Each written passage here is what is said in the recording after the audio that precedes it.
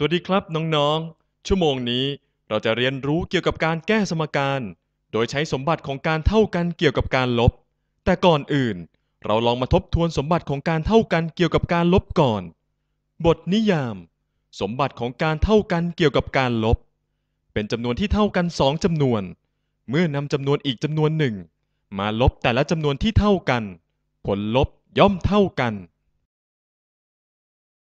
พิจารณาสมการ 4 บวกด้วย 3 เท่ากับ 7 ซึ่งเป็นสมการที่เป็นจริงนำสองมาลบออกจากจำนวนทั้งสองข้างของเครื่องหมายเท่ากับ ดังนี้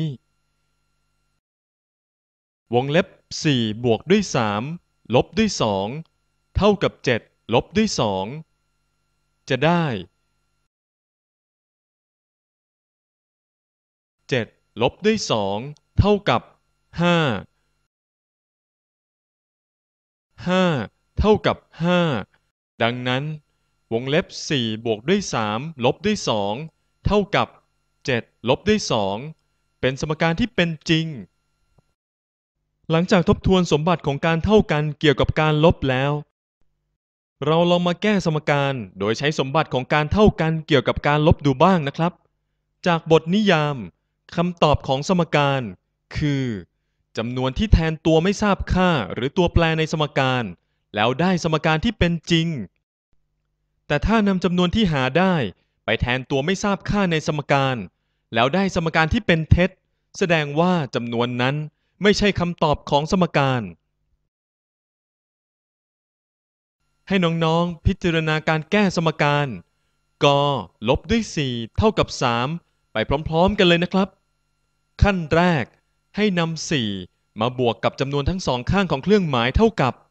เพื่อให้จำนวนข้างซ้ายของเครื่องหมายเท่ากับ เหลือตัวไม่ทราบค่าเพียงตัวเดียวเท่านั้น ดังนี้นะครับก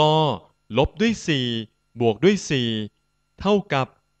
3 บวกด้วย 4กเท่ากับ 7 เมื่อแทนกในสมการ กลบด้วย4เท่ากับ3ด้วย7จะได้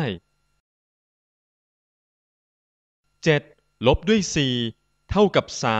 3เป็นสมการที่เป็นจริง ดังนั้น7เป็นคำตอบของสมการกลบด้วย4เท่ากับ3ครับ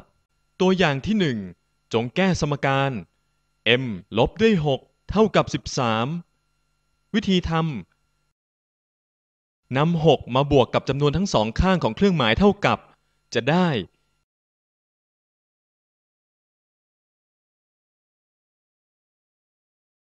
m เท่ากับ 19 น้องๆ สามารถตรวจสอบได้โดยการนำ19 ไปแทน m ในสมการ จะได้ 19 ลบด้วย 6 เท่ากับ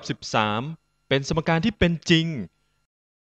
ดังนั้น 19เป็นคำตอบของสมการ m ลบด้วย6เท่ากับ13ครับ ทีนี้ลองมาดูตัวอย่างที่2กันบ้างนะครับ จงแก้สมการ y ลบด้วย15เท่ากับ5วิธีทำนำ15มาบวกกับจำนวนทั้งสองข้างของเครื่องหมายเท่ากับ จะได้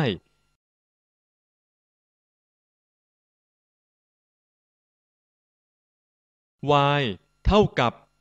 20 น้องๆสามารถตรวจสอบได้โดยนำ20 ไปแทน y ในสมการ จะได้ 20 ลบด้วย 15 เท่ากับ 5 เป็นสมการที่เป็นจริง ดังนั้น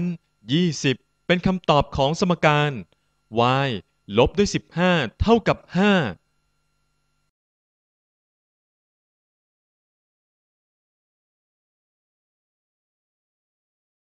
น้องๆจะเห็นว่า